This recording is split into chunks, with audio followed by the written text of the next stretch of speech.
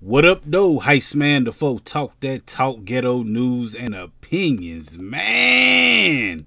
First of all, this ain't none of my business. This ain't none of y'all business either, but it's the news, so we gotta talk about it, man. We gotta talk about Tristan Thompson. He out here making Khloe look bad once again. If y'all know who Tristan Thompson is, he a basketball player. He got them babies by Khloe Kardashian. But this time he right now being seen in Greece with another woman. This lady right here, he was holding hands with her.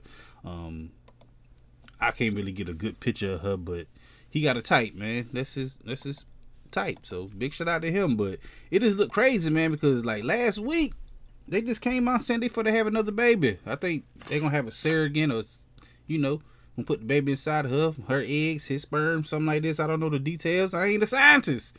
But this look terrible, man. I'm talking about this look real bad. It don't look as bad as her hands did in that video.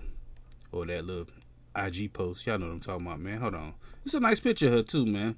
It was pretty good until they got to that hand. Hold on, let's get a close up. Oh, the hand something else, man. The Khloe hand. But yo, that's the that's the um the news right now. Tristan Thompson out there in Greece partying up with another female, and um he just keep doing everything to make her look bad, man. But like I said, it ain't my business. That's their life. Do y'all thing, man.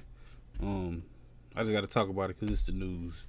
And that's what we do over here. We talk about the ghetto news.